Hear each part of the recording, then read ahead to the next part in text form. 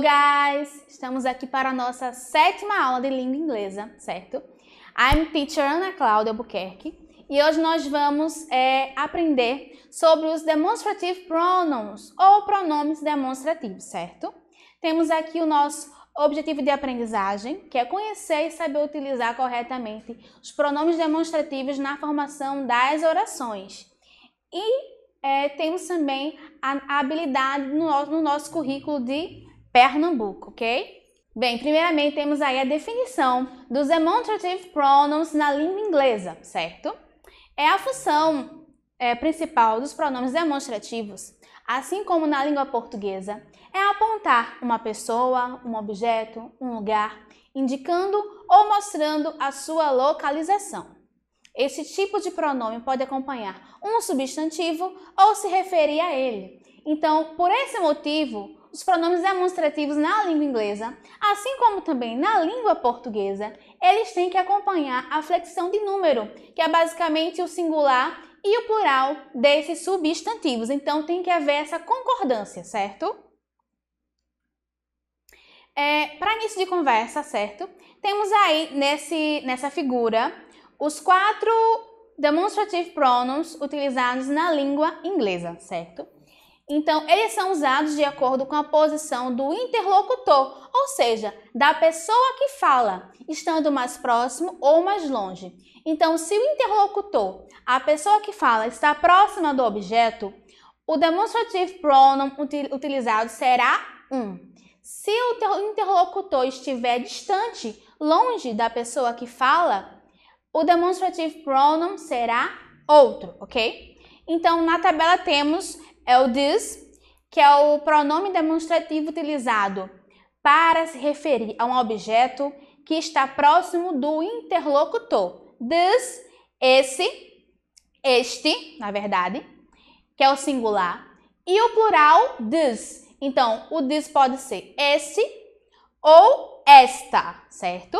Já o plural, estes ou estas, é o this, ok?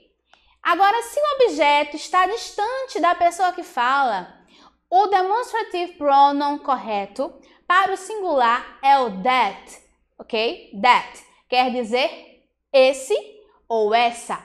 Já o plural é o those, que quer dizer essas ou esses, ok? Nessa figura temos aí a demonstração do uso, né, basicamente do demonstrative pronoun, ok? Temos ali, primeiramente, é, duas balls, né? A yellow ball e a red ball. Como vemos na imagem, a yellow ball está próximo da pessoa que fala. Então, se está próximo da pessoa que fala, o pronome correto é o this, que quer dizer esta. This is a ball. Esta é uma bola, ok? Já a red ball, como podemos ver aí, está distante da pessoa que fala. Então, o correto é o that. That is a ball. Essa é uma bola, ok? Na próxima imagem, né, abaixo, temos aí os triangles. Temos os blue triangles e os green triangles. Os blue, os blue triangles estão próximos da pessoa que fala. Se eles estão próximos da pessoa que fala, eles estão no plural, obviamente. O pronome correto o demonstrative pronoun correto é o these are triangles. Esses são triângulos, ok? Já os green triangles estão distantes da pessoa que fala. Se eles estão distantes, iremos, iremos utilizar o those. Those are triangles. Esses são triângulos, ok? Mais uma vez, na, nessa tabela aí, temos a tradução de cada um dos demonstrative pronouns, ok? Temos o this, que é o singular, né? Para objetos que estão próximos do interlocutor. Ele quer dizer o quê? Este, esta, isto, para perto, ok? Temos o that, que também é o singular, para objetos que estão distantes do interlocutor, que quer dizer esse, essa, isso, aquele, aquela e também aquilo, ok? Temos o this, que é o plural do this, que é para se referir a objetos que estão distantes do interlocutor, certo? E significa estes ou estas. E temos o those, que é o plural do that, que quer dizer esses, essas, aqueles ou aquelas, ok? Temos aí exemplos, exemplos nas frases, ok? Vamos observar a primeira frase aí. This is my house. Esta é minha casa. Então, minha casa, my house, está no singular. Então, observamos aí que o this, né, quer dizer esta é minha casa. Está concordando com o substantivo house, que está no singular. Temos também o this. These are our dogs. Esses, estes são nossos cachorros, ok? Por que this? Porque o this está concordando com, com o substantivo dogs, que está no plural, cachorros, ok? Na próxima frase temos That store is very far from here. Aquela loja é muito longe daqui. Por que that? Porque a loja está distante da pessoa que está falando a frase e também store está no singular, ok? Na próxima frase temos Those shoes are very beautiful. You should try them on. Aqueles sapatos são muito, são muito bonitos. Você deveria experimentá-los. Vemos aí os shoes. Shoes, sapatos. Sapatos é uma palavra, é um substantivo que está no plural. Por isso, o those, porque those se refere ao plural do, do pronome interrogativo esse ou aquele, ok? Então, está se referindo a um objeto que está distante do interlocutor. Uh, temos aí uma diquinha bastante interessante, ó. É importante lembrar que os pronomes demonstrativos this e this são utilizados para referir-se a alguma coisa, um objeto, que está muito próxima de quem fala, ou seja, do interlocutor. No português, como a variedade é grande, é possível que surja esse cenário de incerteza. Por isso, se está na dúvida, opte por that ou those. Temos aí mais algumas situações em que os pronomes são utilizados. Uh, vamos lá. Se eu quero apresentar uma pessoa, como é que eu chego e, apre e apresento essa pessoa? Eu falo, eu utilizo o pronome demonstrativo, né? Se a pessoa está próxima a mim, vai ser o this, certo?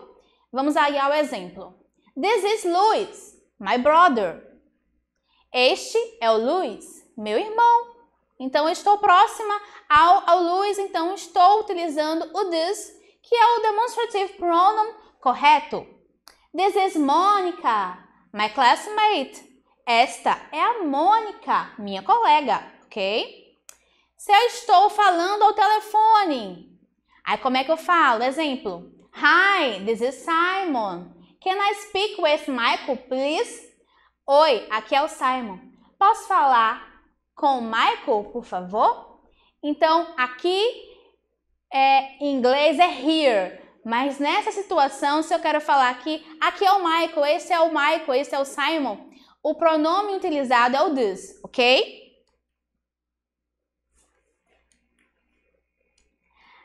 Now, agora, temos aí é, exercícios para que nós possamos é, aplicar o conteúdo aprendido no dia de hoje, certo? Então, vamos completar com os demonstrative pronoun corretos. Temos aí, né, quatro imagens. A one, two, three, four.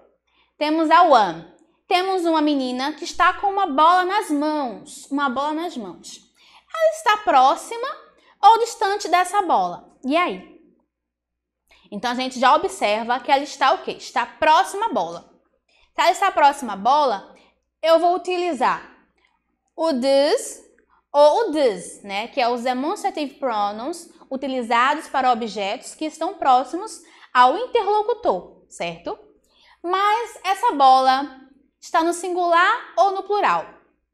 Claramente nós vemos o quê? Que é, que é apenas uma bola, one ball. Se é one ball, ela está no singular. Então, o pronome correto é o this. This is a ball, ok? Na segunda situação, temos a menina e ela está apontando para uma doll, uma boneca que está o quê? Está distante. Estão vendo aí? Se ela está distante, é os pronomes que eu posso utilizar serão that ou those, né? That para singular, those para o plural. Vemos claramente mais uma vez que temos apenas uma doll, a doll, uma boneca. Então, o pronome correto é o that. That is a doll, ok? Um, na tree, temos aí a menina com dois porcos, pigs. Ela está próxima dos porcos? Está próxima dos porcos? Yes, está próxima. Se ela está próxima dos porcos, eu vou utilizar o this ou those, porque os substantivos estão no plural, ok? Mas ela está próxima, se ela está próxima, o demonstrative pronoun correto será o this. These are pigs, ok? Na quarta situação, temos aí mais uma vez a menina e ela está apontando para o quê? Para galinhas, hens, que estão distantes dela. Hens. Se as, se as galinhas estão distantes, eu posso utilizar o this, o this, o that ou those. E aí, qual dos quatro? Ela está distante. Temos hands, está no plural, ok? Se está no plural, o demonstrative pronoun correto vai ser o those. Those are hands, ok? No segundo exercício, mais uma vez, nós vamos identificar os demonstrative pronouns corretos para cada situação, ok? É, number one, número um, temos a seguinte frase. That is a car. Aquele é um carro. Este, esse é um carro. Então, a gente lembra o quê? Que o that é o pronome demonstrativo utilizado para objetos que estão distantes do interlocutor. Na letra A, temos um car. O car está longe. Na letra B, o car está perto. E aí, esta frase está se referindo à situação da letra A ou da letra B? Isso, muito bem, da letra A, porque o carro está distante do interlocutor. É, number two, número 2, temos a seguinte frase: This is a bee. Este, esta no caso, esta é uma abelha. This, a gente lembra que é o pronome utilizado para objetos que estão próximos do interlocutor, mais uma vez, e também para objetos que estão no singular. E aí, this is a bee. Se é para objetos que estão perto, né? No caso, o animal aí em questão. Qual é a letra que se refere a essa frase? A ou B? Isso, muito bem. Letra B, porque está indicando que a bee está perto do interlocutor. This is a bee. Number 3, número 3, temos a seguinte frase. This is a dog. Este é um cachorro. A gente lembra mais uma vez que o this é o demonstrative pronoun para objetos que estão próximos do interlocutor e também para objetos que estão no singular, ok? Então, na letra A temos o dog está, que está distante. Na letra B, o dog está perto. Então, a gente já identifica que a letra correta é a letra A, que se refere à seguinte frase This is a dog, ok? Para concluir, temos aí nossa terceira questão, que vamos identificar mais uma vez qual é o pronome demonstrativo correto em cada situação, ok? Um, temos aí o bird na mão do, do boy, né? Então, se o, o bird está na mãozinha do boy, está próximo a ele, this is a bird ok? Exemplo, né? Na próxima, na, na próxima situação, temos uma girl que está com a doll em seus braços. Então, ela está próxima da, da doll, da boneca. Se está próxima, this is a doll. Vamos ver agora as situações aplicadas para as próximas situações, certo? Temos aí o boy que ele está apontando para o elephant para o, para o elefante que está distante dele. Como é que ele vai se referir a este elefante? E aí? Alguém já sabe? Isso vai ficar da seguinte forma: That is an elephant. Por que that? Porque está distante e porque está no singular. É apenas um elefante, one elephant. Na segunda situação, temos aí o computer, né? O, o man, o homem, está trabalhando no computador. Como é que ele vai se referir a esse computador? Gente observa o quê? Que o, o computer está próximo a ele. Então, a gente já observa o quê? Podemos utilizar ou this ou this. Se a computer está apenas no singular. Então, a frase correta vai ser o this is a computer, ok? Próxima situação, temos aí o, o ring, né, que é o anel, no dedo da, da mulher, da woman. Se o dedo está próximo a ela, né, se ela está falando sobre o, o anel, se está próximo a ela, eu vou utilizar ou this ou this. Se o ring está no singular, claramente vamos utilizar o pronome this. This is a ring, ok? E na quarta e última situação, temos o monk, o macaco, né? E o man está apontando para o monk. Esse monk está distante. Se ele está falando sobre um objeto que esteja, que esteja distante dele, ele vai utilizar ou that ou those, ok? Mas o monk é apenas o monk, apenas um macaco. Então está no singular. Então o pronome demonstrativo correto vai ser o that. That is a monk, ok? Então, pessoal, se você ficou com alguma dúvida, volte lá os vídeos, assista de novo mais uma vez e anotem tudo, certo? Até a próxima aula. Bye!